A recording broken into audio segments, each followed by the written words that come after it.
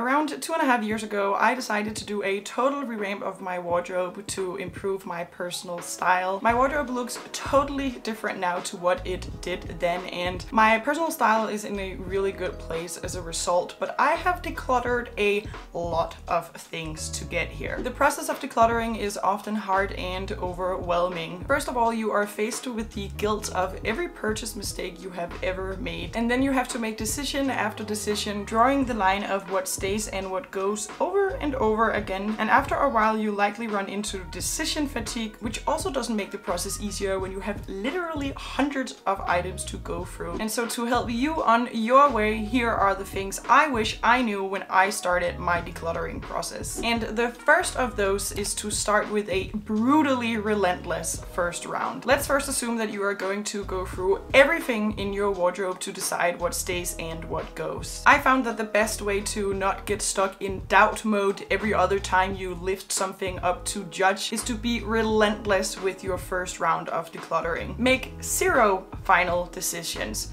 Give yourself only two piles the to stay pile and the maybe pile. Whenever you pick something up to decide and your mind presents you with zero doubt that you want to keep this item, throw it into the to stay pile. But then, as soon as you pick something up and you get even the tiniest hint of doubt of whether to keep or toss, throw it straight into the maybe pile with no further rationalization and then move on to the next item. Once you've done this with your entire wardrobe, you can throw your keepers right back into your closet and then you can go through the maybe pile pile to sort the things through that you know for certain that you don't want to keep around. And then you'll be left with a pile of the actual decisions you will have to make and you can start actually examining from there. The next thing I wish I would have done right away when I started decluttering my wardrobe is to let go of the pieces I didn't feel great in or worse yet feel inadequate in. Probably the most important lesson of tossing or keeping your clothes is that your clothes should fit you and not vice versa. Keeping feelings of inadequacy around in your life via your wardrobe wardrobe is totally pointless. I think most of, if not all of us, are guilty of at some point in time holding on to an item just because it's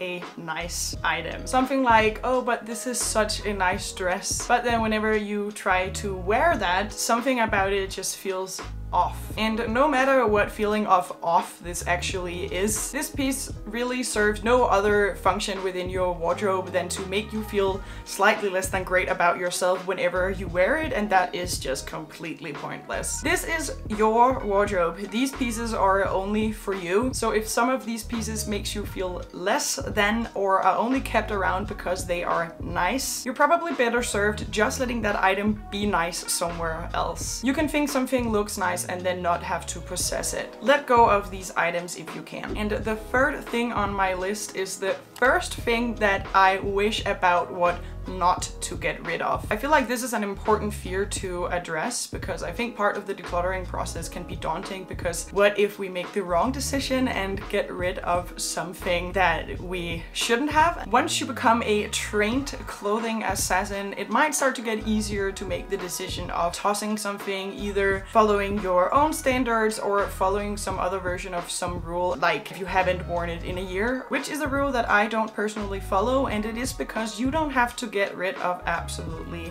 everything like the classics. Decluttering essentially comes down to why you are holding on to an item. You shouldn't hold on to pieces that makes you feel some version of either inadequate or some unhealthy version of sentimental, but you are absolutely right in holding on to pieces you might truly believe will come back around for you later. Back at the beginning of my channel, I did a decluttering video and one of the pieces that I was discussing was a black leather jacket and I decided to keep it, but I remember getting a few comments that I would be better served letting it go because I was no longer wearing it at the time, but I decided against that and I am so glad that I did. There is no way I am getting rid of a perfectly fine, great condition, rather expensive classic black leather jacket just because I don't feel like wearing it right now, but have a ton in the past. It is totally fine to put some of your items into storage if you determine that you might actually appreciate not having to buy these again later down the road. If there are anything I regret decluttering, it is a few items like this. Like for example, I decided quite a while back that I didn't need my Nike Air Force Ones anymore. I didn't feel like they were suiting my style and so I gave them away. But even though I really felt and still do that they no longer suited me, I could have used them on occasion when for example I really needed nice comfortable sneakers. So getting rid of those were silly but I also don't need them enough to actually spend money on them again. It is a minimum of items from my wardrobe that lives in permanent storage in my basement because I'm really not talking about holding on to those maybe someday items. I'm talking about those ones with actual utility that you might need and want someday. The next thing I wish I'd done as part of decluttering my wardrobe is I should have ignored the all or nothing approach. I am obsessed